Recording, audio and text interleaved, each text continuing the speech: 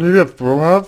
Ага, мне очень, очень жаль, что а, ситуация развивается так, как развивается сейчас у вас а, в контексте данного вопроса вашего, потому что а, вы сами себе э, не уверены, вот, и плюс э, коллеги вам дают э, ну, до, достаточно такую противоречивую информацию, да, вот, что еще больше вас, э, наверное, вводит в состояние какого-то заблуждения, что еще больше вводит вас в состояние какой-то вот такой, э, значит, э, ну, состояние дезориентирования, вот. А, я бы сказал, что оптимально для вас, а, чтобы исключить, исключить все неточности, да, действительно выбрать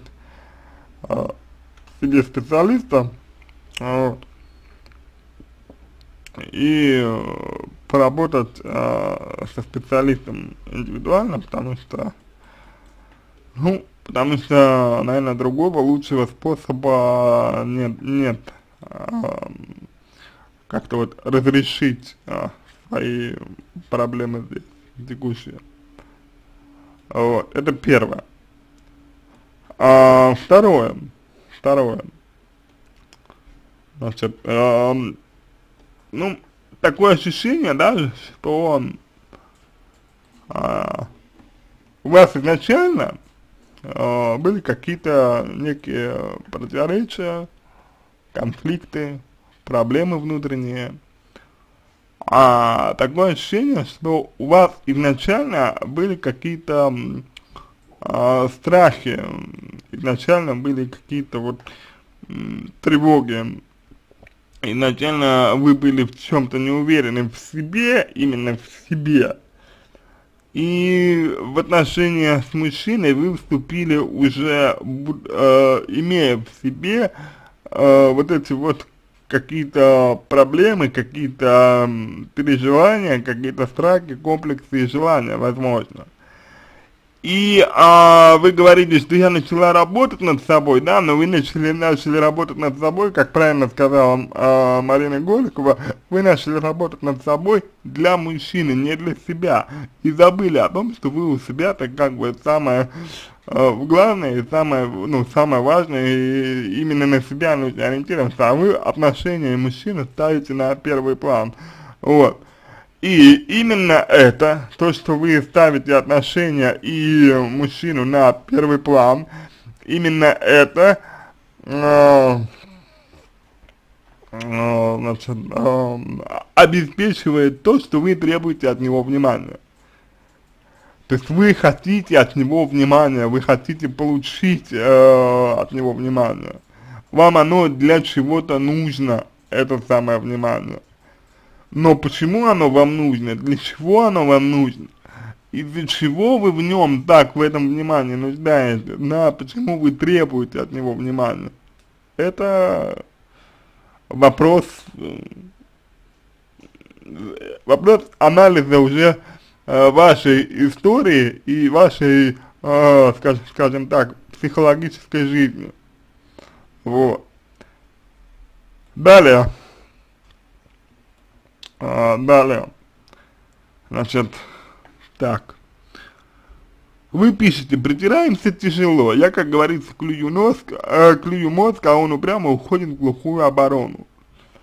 Понимаете, а, вы клюете мозг не случайно. Вы чего-то боитесь, вам что-то нужно, вы чего-то хотите. И для этого вы используете мужчину совершенно очевидно, ну, на мой взгляд, совершенно очевидно, что для этого вы используете мужчину, чтобы, ну, реализовать свои потребности. Но нарушаете его личные границы, это раз. Два, э, исключаете тот факт, что человек уже, э, ну, как бы был разведен, да, то есть он, у него уже были отношения, и он э, почему-то э, как бы развелся. Я не говорю, что все разведенные мужчины плохие, но э, я хочу сказать, что у развода всегда есть причины какие-то. И очень важно причины эти понять, то есть понять, почему мужчина разведен, и, э, что привело к э, разводу, вот. Понимаете, какая история? То есть, на мой взгляд, это тоже очень важно, а вы как, вы как будто бы это все исключаете. Вот, тот мужчина уходит в глухую оборону, говорит о том, что вы э, нарушаете его личные границы, и ему что-то не нравится. То есть он как бы защищает. Глухая оборона это защита. Э, в отношениях вам лучше не э, доводить до такого, что вот, ну, э, чтобы человек защищался. Вот, от отношений все-таки это, ну, отношения должны быть отдушенные, да, а не местом боевых действий. Вот, поэтому тут как, как бы вопрос э, в том, да, почему вы клюете, чего вы хотите вообще и так далее. Вот, работать над собой тоже самостоятельно, самостоятельно очень опасно, можно навредить, лучше делать это со специалистом. А, последние два месяца был в командировке, часто конфликтовали, я требовала внимания, он упрямился. То есть не хватает внимания, вы испытываете дефицит внимания. Внимание это а, ну, собственно, ощущение, что вы нужны, что вы важны и так далее.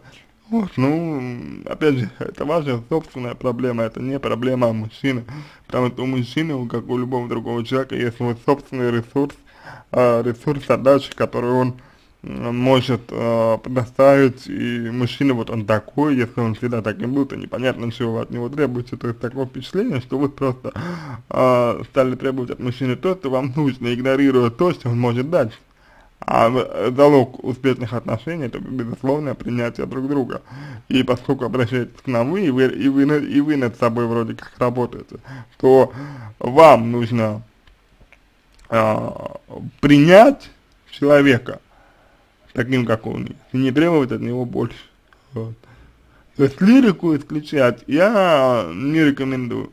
Хотите писать ему что-то, пишите. Хотите выражать ему там, не знаю, свое внимание, ради бога, выражать, но требовать от него чего-то нельзя. Потому что еще раз, еще раз, да, отношения, отношения, это не требование чего-либо, э, это отдача.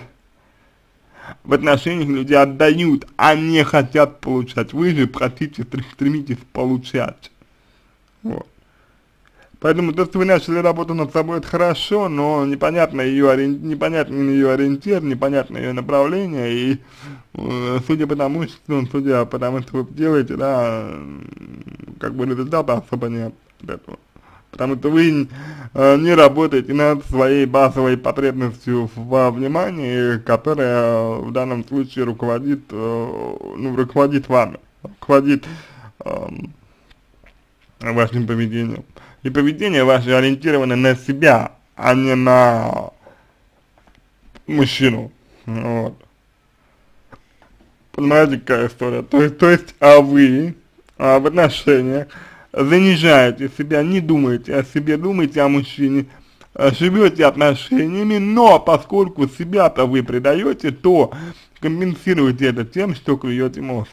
Лучше, если вы не будете мужчине клевать мозг, а сразу будете о себе заботиться, сразу будете свои потребности удовлетворять, но при этом не будете э, давить на мужчину и чего-то от него требовать, потому что э, то, что он говорит, что у него остыли чувства, это как раз таки свидетельство того, что ему с вами стало некомфортно, это свидетельство того, что вы постоянно чего-то от него требуете, это свидетельство того, что вы с ним ведете себя как, ребенок, не как равный партнер, а как ребенок, к сожалению. Это не понравится никому, особенно взрослому, разведенному мужчине, у которого уже есть опыт. С другой стороны, э, опять же, причины его упрямства тоже нужно разбирать. Если человек э, примеру, упрямится просто потому, что он, ну, вот, не привык, да, он не может, не умеет, не хочет а, выражать, допустим, ну, свои чувства так, как вам хочется, это одно. А если он это изначально делал, а теперь он этим типа как торгуется, да, то есть пытается манипулировать, то это совсем другое. То есть природа его упрямства э, нуждается в анализе. Как, он, как нуждается в анализе то, что вы клюете ему мозг. Как бы это проблемную часть поведения нужно раскрыть. Эти проблемные части поведения нужно раскрыть. В идеале, если вы оба э, придете на прием к семейному психологу. В идеале. Вот. А, но даже если вы не можете этого сделать, то вам одной, в принципе, вполне будет а, достаточно, а, значит, поработать над собой. собой. На этом все. Я надеюсь, что помог вам. Если у вас остались вопросы, пишите в личку, буду рад помочь. А, посмотрите в интернете треугольник Карпмана, вы здесь находитесь в этом самом треугольнике в роли преследователя и жертвы, вам это, из этого нужно выходить. А, если у вас остались вопросы, пишите в личку, буду рад помочь. А, если вам понравился мой ответ, буду благодарен, если сделаете его лучшим. Я желаю вам всего самого доброго и удачи.